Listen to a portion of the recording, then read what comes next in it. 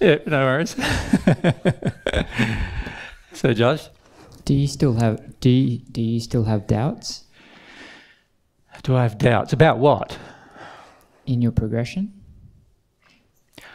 Um, I have doubts in my about myself, certainly. Yep. And um, when does doubt cease? Is that just when you at one with God? Yep. Yep. So yeah, I certainly have doubts in my in my personal abilities. Certainly, I don't have as many doubts in God's abilities, and this is what's pulled me through many many things. So so even it's pulled me through the experience of emotion because there are times when I feel like my emotions are so intense that it's pretty hard to even address them. But I know that if with God everything is possible. So so my faith in God and the fact that with God all things are possible means that I can deal with my emotions as long as I have God's help. You follow me? So then I stop relying on myself so much and I rely on the fact of God's goodness and I rely on the fact of God's nature and character.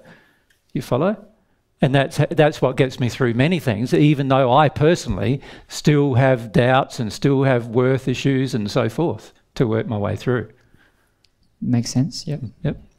And this is where faith comes in, you see. Faith can pull you through many, many things. It's a beautiful quality because it sort of grabs you, puts you in the future, or allows you to imagine the future, and it pulls you through any trauma or tribulation or whatever it is that you're facing, suffering that you're facing now. It can pull you through it and out the other end. That's what I love about the quality of faith. There's no other quality that can do that. Right? It's only faith that can do that.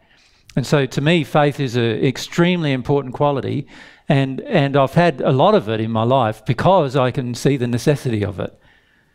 And not only that, to me, it's a logical quality. you know, like you have faith all day, every day with physical things, and all I do is apply the same physical the principles to my emotions and spiritual life as what you do to your physical life.